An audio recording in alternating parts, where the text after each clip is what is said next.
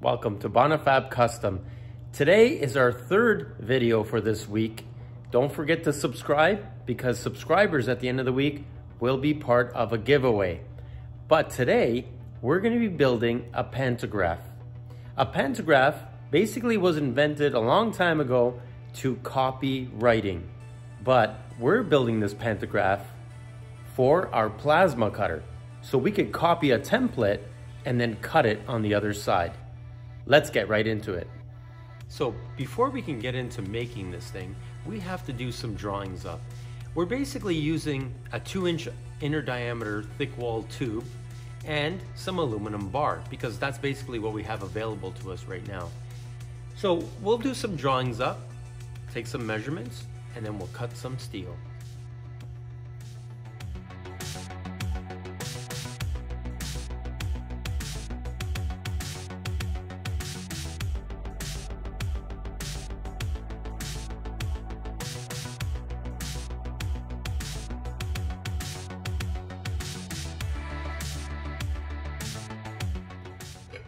For main supports, we're gonna use this three quarter by one inch solid steel bar.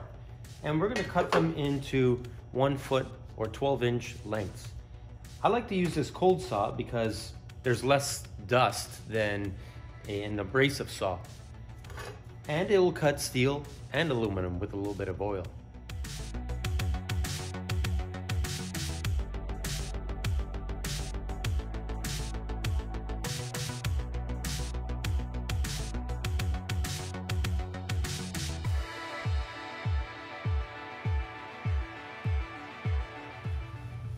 Now that we have all our pieces cut up, so our one inch by three quarter inch solid steel bar, two pieces of those at 12 inches, and our flat bar, aluminum, which is half inch by two, 32 inches long, and we have two pieces of those. We're also gonna be using these bearings, which is a two inch diameter bearing and a one inch ID hole. Now, the only reason I'm using these, we could use smaller ones, but I have a whole bunch of these. Uh, they're like a surplus bearing. And we're also, we cut these um, pieces for the bearings to fit into. And they're one inch thick or one inch height, uh, one inch ID, uh, two inch ID, and about a quarter inch wall tube and we have to machine the inside of those so the bearings fit in there nicely. For the bolts, these are bolts that I had also. They're like a low head bolt and they're 5 8 diameter and about 6 inches long and we have locking nuts that go with it. So let's get into machining the housing for the bearings and then we can start welding this together. So now on our lathe, we're going to machine the inner diameter to fit our bearings nice and snugly. The way we're gonna do that is we're gonna put it inside our chuck and we're gonna bore the inside with our boring bar. So let's do that.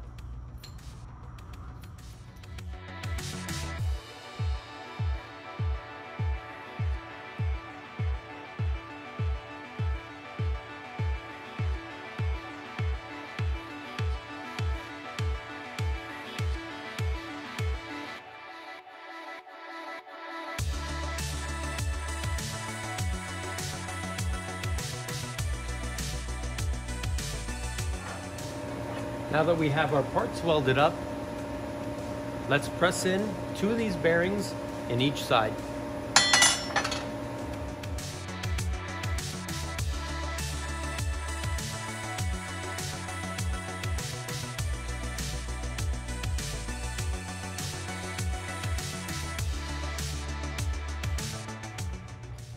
Now we're gonna mark up these two bars, which are our half inch by two inch aluminum bar.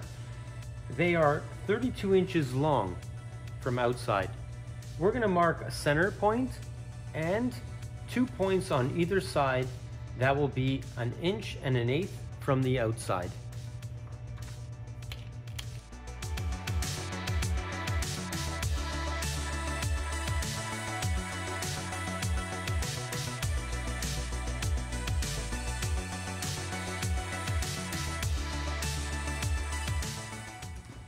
So let's punch some holes on our iron worker. We're gonna punch some 5 8 holes and one one inch hole. And that one inch hole is gonna hold our plasma cutter.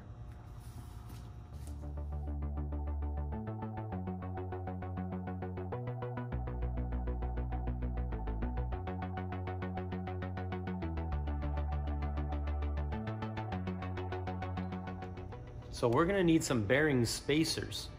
These spacers are gonna go in between the bolt, which is 5 8 diameter, and the bearing inner diameter, which is one inch.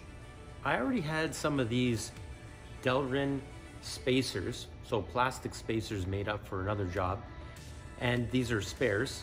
So the diameter on the inside is already made for this bolt. It's already 5 8 All we have to do now is turn down some shoulders to fit into the one inch diameter of the bearing. So we're gonna do that on our lathe. Let's do that now.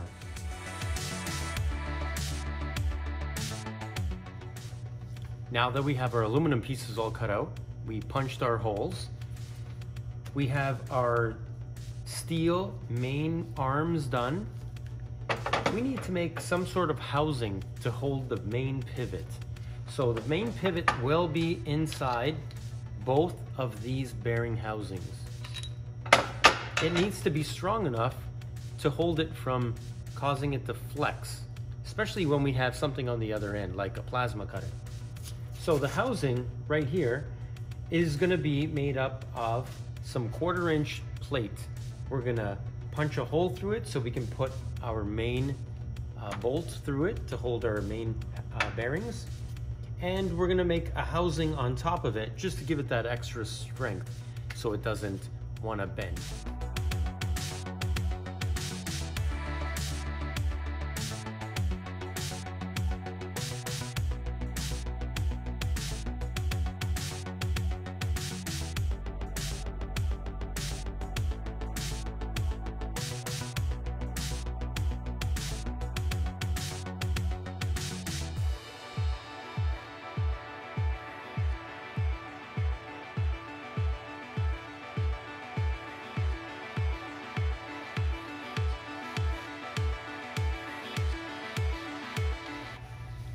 So now we have all our parts ready to assemble.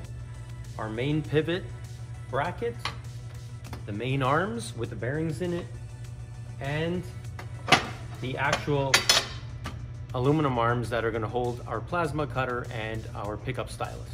So let's put it all together and see if it actually works.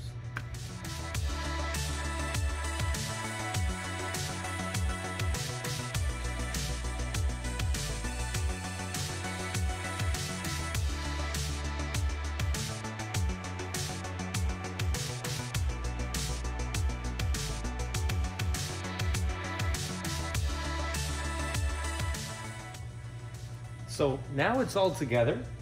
It functions really nice. It's nice and smooth, yet it's very rigid. And we need that rigidity because we could be putting a router for engraving on this side or our plasma cutter. We just want to make it versatile. And on this side here, we're gonna make a special stylus. We're gonna use this, um, these bolts because I have them, and we're gonna turn down the, the front of it to a point so we can use it for copying things. And this would just fit into this side here. And for the plasma cutter, it would fit into this hole. Now the plasma cutter I'm using is a Hypertherm.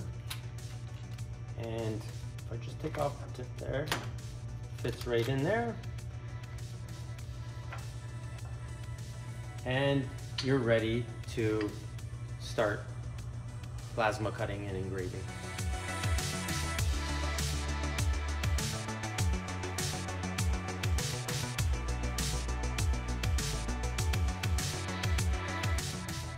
Thanks again for watching Bonifab Custom with this special build today, our pantograph machine. If you're interested in one, we make them as a kit. They're very inexpensive. Just direct message me and I'll tell you what they cost. Thanks again for watching these special builds throughout the whole week. And don't forget to subscribe because at the end of the week, we are having a giveaway. Now, tomorrow we will be showing basically the other half of this build, basically which is the table of the plasma cutter. A very inexpensive way of making it and we're gonna show you on Bonifab Custom how to do that tomorrow. Thanks again.